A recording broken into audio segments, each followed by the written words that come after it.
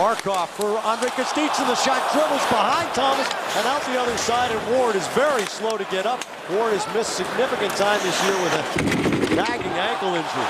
Well, it was Ward that made the block because Kostitsyn had... Thomas knocks down Andrei Kostitsyn, and now the Donnybrook is on.